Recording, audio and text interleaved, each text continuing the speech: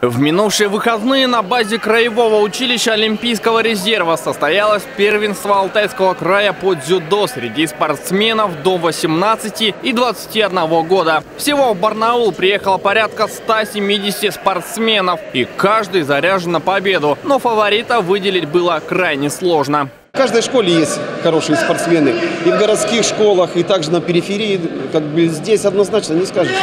У нас люди с периферии очень мощные команды, там и Бичане мощные, и Благовещенко мощные, там, поэтому как бы никого не хочется обидеть. По итогу двух дней больше всего золотых медалей выиграли дзюдоисты из Барнаула, Бийска и Благовещенска. Совсем скоро из победителей будут формировать сборную края, которая и отправится защищать наш регион на сибирском уровне. От единоборств и татами перемещаемся на футбол и зеленый газон. Футболисты «Динамо Барнаул» на выезде проиграли оба матча. 1-2 уступили Челябинску, а Уралу-2 и вовсе 1-4. На послематчевой пресс-конференции главный тренер бело-голубых Александр Суровцев вновь сетует на судейство. По его словам, уже пятый матч арбитр матча свистит в одну сторону.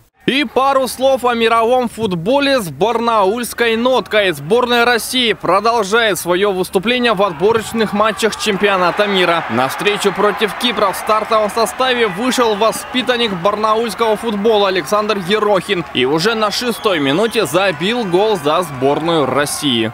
В любом случае, чем э, быстрее тем забьешь, тем, наверное, чуть-чуть, может, психологически легче будет, но, тем не менее,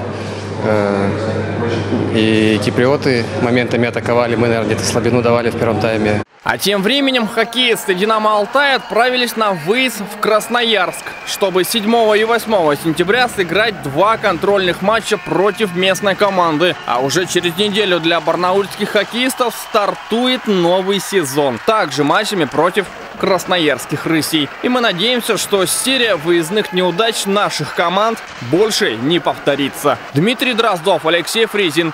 День с толком.